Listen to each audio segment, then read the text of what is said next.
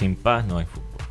Si no hay paz, no hay fútbol. Si no, hay, paz, no hay Y hay personas que dicen, sin fútbol no hay paz. O sea, el, el fútbol... Lo que pasa con el fútbol es que el fútbol se puede usar para el bien y para el mal. Bueno, si lo sabrá Bolsonaro. Mira, mira que. Si lo sabrá Bolsonaro. La mejor época, la mejor época de la de Mayor, lo que ahora llamamos el Dorado, donde llegaron o sea, los mejores jugadores del mundo a Colombia. Llegó Di Stefano en ese entonces. De, Di Stefano, por favor. Antes de irse a, Madrid, llegó acá.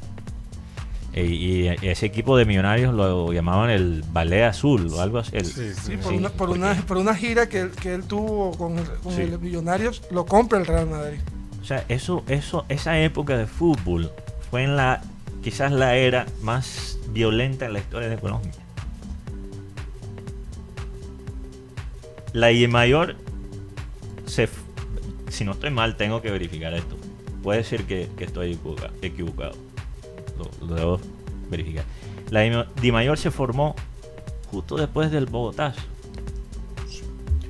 O sea, el, el fútbol en nuestro país, no solo en nuestro país, pero en todo el mundo, ha sido una herramienta para distraer a la gente de lo que está pasando en, en su, lo hemos visto alrededor del ambiente, claro. Y, eso es bueno y es malo. Y es malo, sí. Porque para algunas personas le da 90 minutos de, de distracción, de oasis, que le cambia un poquito la rutina, de la miseria que a veces se vive. Sí. Y para otras personas también funciona como un tapaojo una curiosidad en las fechas. El Bogotazo fue el 9 de abril del año de 1948. ¿Cuándo se formó la Di Mayor? 26 de junio del año 48. Así es. Te dije, a los pocos días. El, fútbol profesional no existía. Y después pasa. Entonces, por eso entiendo los lados. Entiendo la gente que, que, dice: hey, para mí el fútbol es un, también. Un aliciente. Sí, exacto. Es un oasis de todo lo que está pasando. Así es. Tampoco. A veces hay que desconectarse.